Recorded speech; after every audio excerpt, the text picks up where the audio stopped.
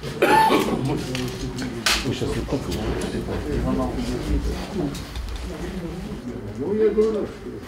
На открытие Дома ветеранов сегодня пригласили священников.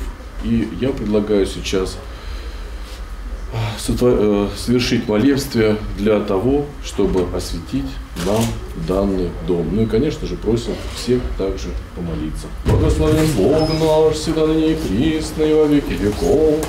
Аминь, Царю Небесного, Тешителю души истины, живи везде, и вся исполняй сокровища благих и жизни подателю.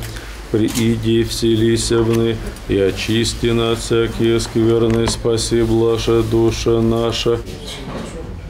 И Святого Духа. Аминь.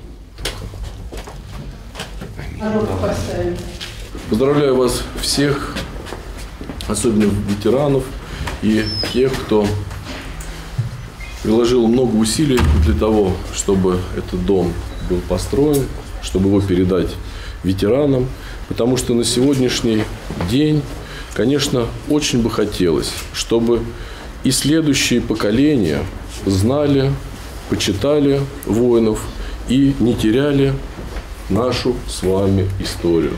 Благодай Дух, сторон, благодай Дух. Давай, давай.